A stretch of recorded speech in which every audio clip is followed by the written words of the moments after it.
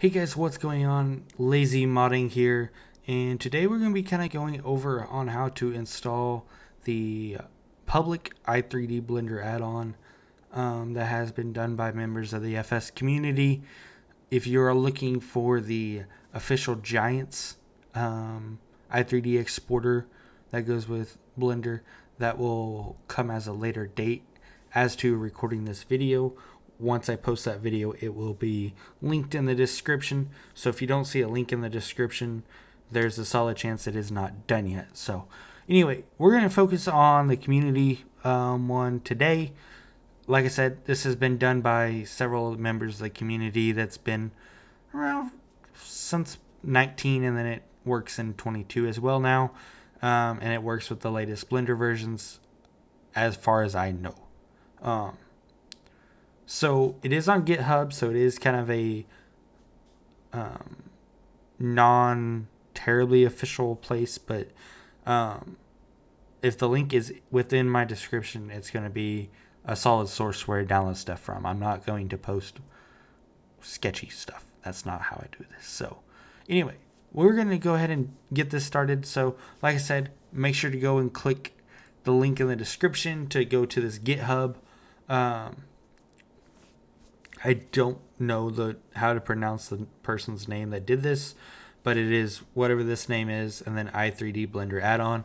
If you don't want to go click the link in the description, you can probably just type in Giants i3D exporter or Giants Blender, something like that, and I am sure there'll be a uh, link or something to get you to this GitHub. So, but like I said, recommended way is to just drop it within the description by clicking on that link. It will just be easier in the long run. So anyway, let's get started rolling with this tutorial. So you're going to open up, this is kind of the homepage for this project file.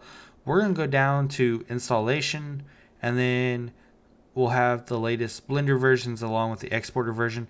They currently do not have a 3 2.93, which is the Blender version I am running, but I have used this in 9 2.93 and it works fine. So for those of you that are running version 3 or up, I don't know on Blender, but if you're running a 2.9, it probably works. So once you get here, um, if you are running an older Blender version, like 2.91, 2.9, and 2.83, um, might click on their respective exporter version. There's a reason it's linked there. Uh, if you are on 2.92, 2.93, um, you can use the latest. So click on that, and it's going to download um, wherever you have it set to. In my case, I do have it set to the downloads folder, so that's where we're to head to now. So when we go open up our downloads folder, it's going to show up as i3d underscore exporter.zip. So this is going to be a zip file that downloads from the browser or wherever you routed your file to. It does not necessarily need to be in a specific place because when we import it into Blender, it will write its own files. So it doesn't have to be in a certain area unless it doesn't work. But then I'd recommend following the instructions that are listed on the GitHub. So d- leave this file zipped. That's how it's supposed to be. No need to unzip it. So the next thing we're going to do is we're going to go open Blender. So type in Blender. And that's going to load up onto the screen. Like I said, I am running 2.93.6 in this case. And we're just going to start with just a general file. So here we have a cube. We're not really going to be looking at actually how to install this currently. Um, but say we were going to, or how to mess with the cube currently. But we are just going to kind of glance out, you quote unquote could export this out. So we have the cube selected. We're going to file export. Well, you don't see, we don't have a i3D setting this X3D is not an i3D. So we currently don't have a setting to export this out of Blender into Giants Editor. So we need to install the um, export add-on to be able to allow that to happen. So we're to go up to File, or correction, Edit, Edit, and then Preferences. So just make sure I get that clear. Go to Edit and Preferences, and it's going to bring up this Blender Preference window. Um, should be at the, about the same size.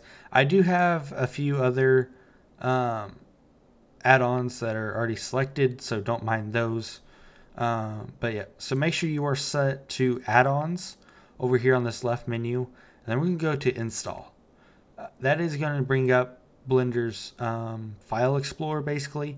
Then we're going to go to our downloads because that's where we saved it, or you can go wherever you saved the i3d underscore exporter.zip file at, and we're just going to click it so it pops in here. Then we're going to hit install add-on. Then whenever we look down here, you can tell it installed because it just says modules installed and then it'll tell you where it came from and where it put it into at. So like I said, you don't need to actually go and unzip this file and put it anywhere. All you have to do is import it into Blender and it will automatically write where it needs to go by itself.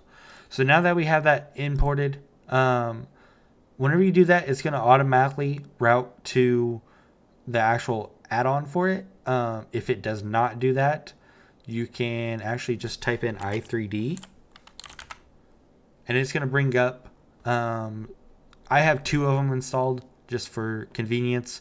Um, like i said earlier in the video giants version will come at a later date. I just haven't had time to do that one yet as it's a little bit more complicated um, but so this bottom one we're going to need ex- import slash export is what we're going to be using it's also the unofficial Giants i3D exporter tools. It's all here. Make sure that like this is how it should be. And then you just hit this little check button right here. Um, if you want to, you can route your FS data folder in there. I don't really haven't really used it to do that, so I'm not too terribly worried about it. Um, but now that we have that selected and activated, we're gonna go to we're gonna save preferences. So now that it's in there, you can close out of this window. We're back to our cube now. Um, you don't even need to restart Blender or anything. So we have this cube selected. We're going to go to back to file, go to export, and now we have the options for an i3D. And you can put it wherever to get an i3D. I will just drop this in the downloads folder. That way so. Okay, well maybe you do have to select. You do not, okay. And then just to prove that it works correctly, Boom. There's your cube from Blender. Anyway, I hope this guys helped you guys out a lot. If this video does help, please do hit that like and subscribe button as it really does help. And we'll catch y'all next time. Have a good one.